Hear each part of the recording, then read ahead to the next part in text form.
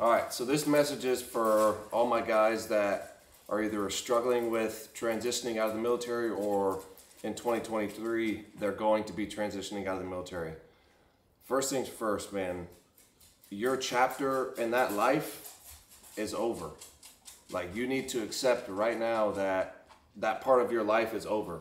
Um, that was one thing that um, I struggled with a lot, and I hear about it all the time. Is how people can't let go of you know not going back to combat or um, not being around all the boys, not being in the team rooms, not not just being around a, a family anymore. And that is one of the hardest things about this whole process is because we're used to going whether you know I started out in the infantry, so um, being in this huge bay full of lockers where there's 40, 50 dudes ranging from, you know, 17, 18 years old all the way up to 40 years old. Um, you had people to talk about anything with. And um, when you leave the military, you you are on a stranded island by yourself. At least that's what it feels like. Um, especially for those who you know, start their own business. Um, I know all of you guys know what I'm talking about. Sitting there for hours picking up brass after, you know, 10, 12 hours at the range, uh, thinking every time you're on your hands and knees picking up brass, like what you're going to do with your time and how you could be spending your time outside the military. And uh, when you get out, when I get out, I'm going to open this, you know, business up. I'm going to start this company. I'm going to do this. I'm to do that because um, I had those same thoughts. You know, I was thinking about that shit all the time, and um, now I'm here. I've been here. I got I got out in February of 2022, and um, the first year it was 2020. Started the started the business. Didn't even had no idea what I was doing. I'm not a business guy. I, I don't I don't have any background in business um, besides the you know drug dealing that I was doing before.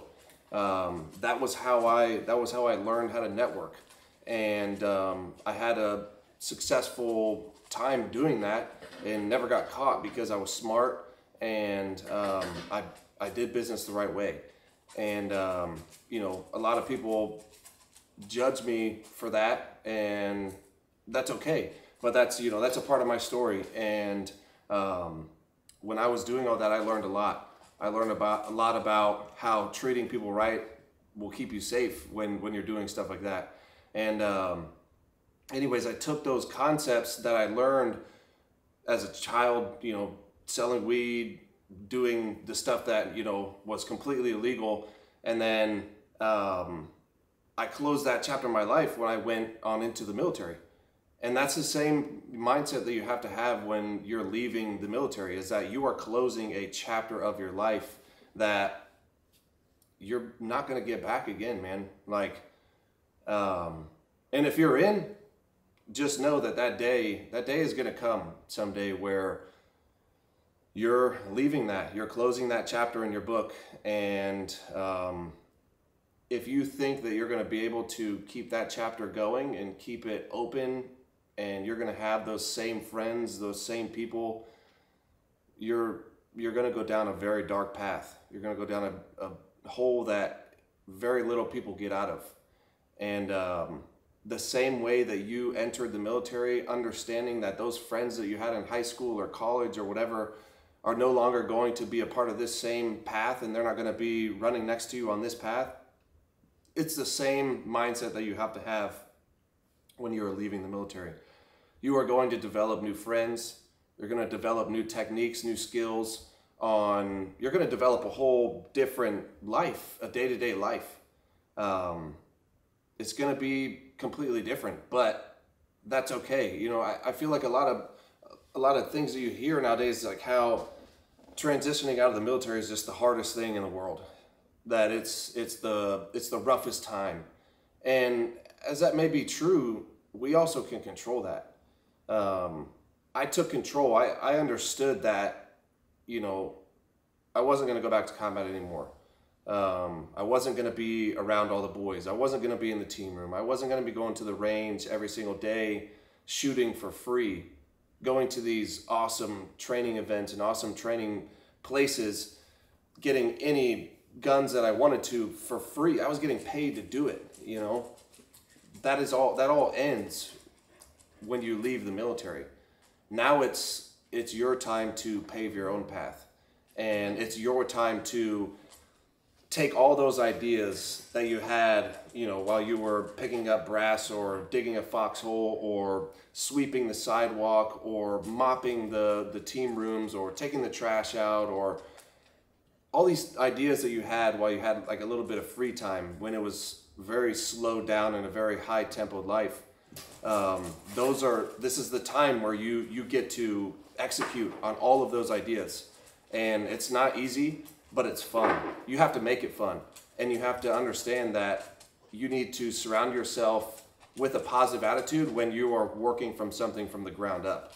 Um, it is, it's, it can get dark when you try to do everything without you know seeking help or seeking guidance from somebody because there are people out there that with your idea that have done it and um, i listen to podcasts I, I, I watch youtube videos i that's that's our way of developing skills nowadays. There are people out there that are teaching these things that you need to open yourself up to just like you did in the military. When you would go to training events and you would get taught by um, civilian contractors or um, you know when i was just an infantryman um, we were getting taught by green berets and which essentially brought me to that life you know i saw green berets teaching i saw them executing and that's what ultimately pushed me to go to selection and, and become a green beret so that's the same same mindset you need to have coming out here too um, seek guidance watch videos learn and just be a fire, just get fire hose with all this information and just be a sponge and take it all in, and you will be successful.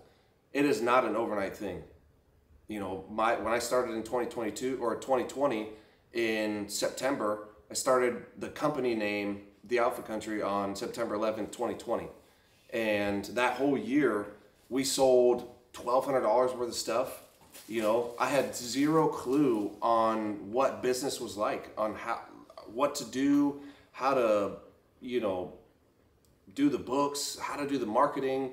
Um, I didn't know how to do pictures and how to edit pictures. I didn't know how to, you know, take videos or what video camera I should get and what software I should get and how to edit them. Any of that. I didn't know how to set up a website. But all that, all that is out there. And you just have to go find it and you have to learn it just like you did with your professional career in the military. You need to just go find it. In that first year, we only sold $1,200 worth of, worth of product. And then I learned, I was figuring out what I was doing, not necessarily wrong, but what I could be doing better. And it's all a learning process. You're gonna make mistakes that you don't even know that you're making, and then you're gonna see what works, and that's what you have to build off of. And the second year in 2021, we sold $200,000 worth of product. But the biggest thing is that I've invested all of that money back into the company, and that's going to show in the numbers of 2022. So in 2021, $200 worth of products sold out of my house. I didn't keep a dime from it because I, I have a bigger vision. I'm looking, you know, five years, 10 years, 20 years down the road, 30 years down the road sometimes about this giant facility that we're going to be in that offers just everything you can possibly think of all those ideas that you know you want to put into a building i can't even name them off how many like all the ideas but that's what i'm thinking about and so i'm choosing to invest all the money back into the company for the next five years ten years until until honestly until i need it um, until there's something in my life that, that I want to do or, or I want to have and, and I want to take just a s- small little piece of the pie um, away from the company, um, then I plan on just continuing to do this. And with that mindset in 2021, it really showed how it paid off in 2022 because I was able to bring, you know, seven, eight, nine different um, supplement products to the table with multiple flavors starting in March. So from March until um, 2021, Was it March of 2021? Yeah, so March of 20. 22. Yeah, so March of um, so in 2021, I didn't even have No, March 2022, seven months. yeah, and then March 2021 was just like close. Yeah. So in March of 2021, um, or in all of 2021, all we had was clothes. We didn't have any supplements. Um, I had the training programs. I had the training programs going big time, and um, in November of 2021 is was when I was like, okay, we have we've we've crushed the the training programs for this year. Um, now, what what can we do the next year? What can we take this money that we have, and how can we invest it and um, multiply this company um, into something more, and not just training programs and apparel? So, I have I had a huge huge um, hobby of, of working out and um, i was very very interested in, in supplements. I've been taking supplements uh, probably since i was 17 18 years old. And so i took all that money from 2021 and i started putting it towards this supplement idea.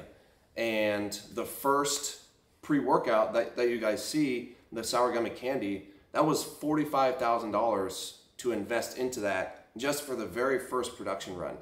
And that again was brand new. I had no clue. I had to do so much research to make and get the effects of a pre-workout that I wanted to have that I wasn't finding in any of the other pre-workouts that I was trying.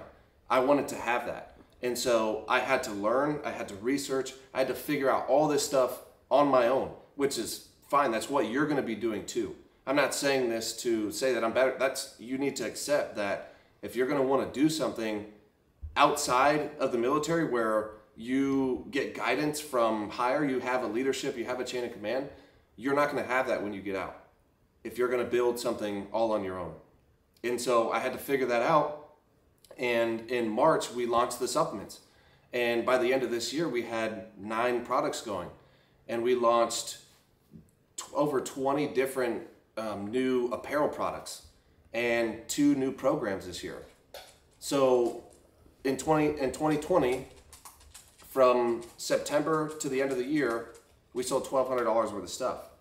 You know, I was I was like, this is gonna take a long time. And then in 2021, we sold $200,000 worth of product. And then in 2022, we've sold over half a million dollars worth of product. And the amount of money, this is what you need to understand. The amount of money that we spent in those in those years. So just in 2021, it was $225,000 is what we spent. So we revenued, we sold $200,000 worth of product, but I spent $225,000 on product. So essentially, I was in, in a loss in the hole for $25,000. And then carrying over into 2022, I wanted to do that same exact thing. I had that mindset that this is a long, long-term thing. This is a this is a marathon, and we sold over half a million dollars worth of stuff, but spent over six hundred thousand dollars worth of um, product to be produced, and it's still in production. This is what's going to be coming out um, in the beginning stages, first quarter, second quarter of 2023. But all of that's worth it, you know. Um, don't make that mistake of getting instant gratification. All right, understand that this this game it, comes with delayed gratification, and when you accept that and can close the door behind you, close that chapter behind you, and just put it all in on what you're trying to do now, this whole transition, this whole stigma of transitioning from the military, it's not it's not what it's out to be, and it's not what everybody puts it out to be. And I know this because I'm I'm living proof of it. I'm living proof that you don't have to struggle. And I'm you know I'm going through plenty of family problems. Um, I don't I don't spiel that out on everybody because that's that's stuff that I want to deal with you know on my own. And um, I don't I don't use that as an excuse to not continue to move forward though. You know, you're gonna run into problems. Your your change your life is completely changing when you leave the military. Um, you're home all the time. You're not gone training anywhere. You're not necessarily, your life is not fun at the moment because you are working on developing that. You are working just like when you went to basic training. All right, you are going at the, the, the crawl stage of what your next chapter is going to be. And you need to understand that. It is a crawl, walk, run, just like the military, just like when you close that first chapter before joining the military. All right, and now you're about to get ready to, if you haven't already, you're about to get ready to close um, this next chapter of your life. And you're going to start a brand new one. And now it's time to write what that chapter is going to be about. And then someday you're going to close that chapter again. So if you are struggling with this transition piece of leaving the military or you you know you're struggling with about to you know get out and you're worried about what you're going to do don't be scared all right? Have have confidence in yourself and understand that it's delayed gratification when you're trying to do something something big. And just don't don't give up. You know um, it's very easy to say but giving up is is the easiest way out of this hard part of life. And we want to see all of you continue to write your story. We don't want this to be your last chapter and we want you to continue to write your book and tell us your story and we want to see you succeed. So good luck to all of you guys that are you know transitioning out of the military this year.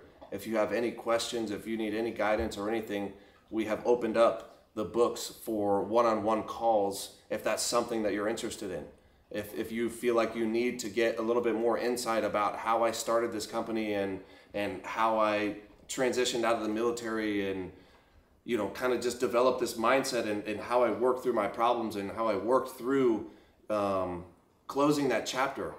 Because it's not easy.